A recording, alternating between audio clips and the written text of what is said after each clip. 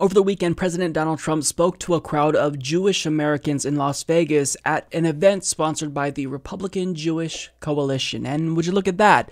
Sheldon Adelson, GOP mega donor, was in the front row listening to him speak. Now, throughout the course of this event, throughout the course of Donald Trump's speech, he spoke about Jewish Americans in a way that is problematic. He invoked a trope that Ilhan Omar was just criticized for supposedly using a couple of weeks ago. Now, did Sheldon Adelson, who was sitting in the front row, again stop him and call him out for this? Absolutely not. So, what is it though? Let's get to what he said. What did he say that was so problematic? Here's a little clip of his speech. I stood with Prime Minister Netanyahu, Benjamin Netanyahu. How's the race going, by the way? How is it? Who's going to win the race? Tell me. I don't know. Well, it's going to be close. I think it's going to be close. Two good people. Two good people. But I stood with your prime minister at the White House to recognize Israeli sovereignty over the Golan Heights. The Golan Heights is uh, something I've been hearing about for a long time.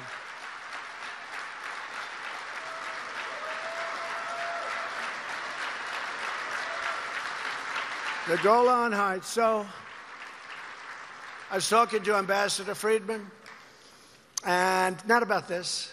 They've been trying to get that approved, as you know, for 52 years. They wanted recognition from the. Now, it was subtle, but in case you missed it, what he said there was he referred to Benjamin Netanyahu as, quote, your prime minister to a crowd of Jewish Americans.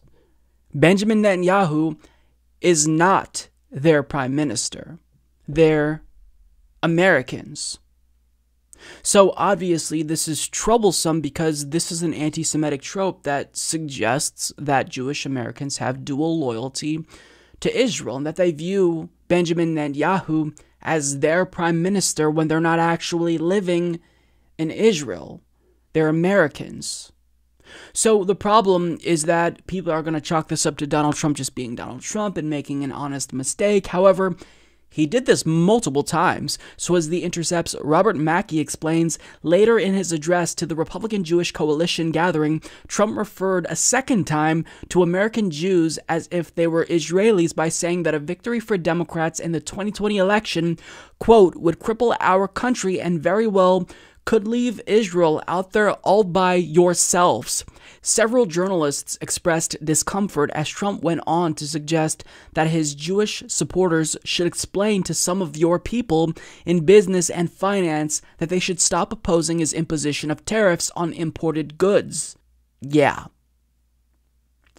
These are your people, Donald Trump. These are Jewish Americans. You're speaking to an event sponsored by the Republican Jewish Coalition. There are no Republicans in Israel.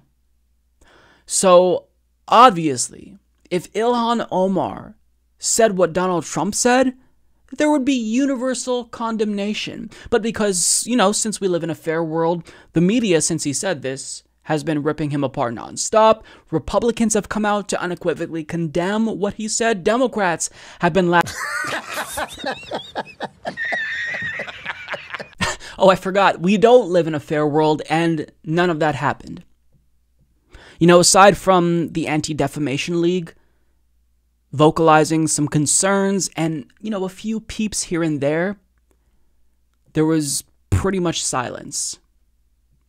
And again, just a couple of weeks ago, Ilhan Omar was accused of invoking an anti Semitic trope when she said, Look, maybe it's the case that American lawmakers, not Jewish people, but American lawmakers, have dual loyalty because they're taking money from lobbying firms like AIPAC and then they're doing the bidding of their donors. We do the same thing uh, when it comes to the NRA. We call out the Republican Party for being beholden to them, and progressives call out Democrats for being beholden to Wall Street. So money in politics is an issue. And that's what she was speaking to, but nonetheless, she was accused of invoking an anti Semitic trope. In other words, she was taken out of context and smeared because of it as an anti Semite. Now, Ilhan Omar noticed all of this, of course, because it's a double standard.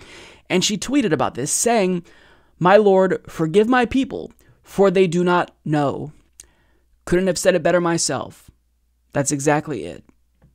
Trump says something that is obviously troublesome at a minimum, to be extra charitable here. He said something that was ignorant. Silence. Ilhan Omar makes a point and then gets strawmanned, taken out of context, and we see universal condemnation by mainstream media by both parties. Tells you everything you need to know and why progressives such as myself warned people like Chelsea Clinton about not taking seriously the arguments of bad faith actors that just wanted the Democratic Party to turn against one of their own for their own political reasons. Mike is a total loser, so don't hit the subscribe button, okay? And whatever you do, folks, do not hit the notification bell either. Mike treats me so unfairly.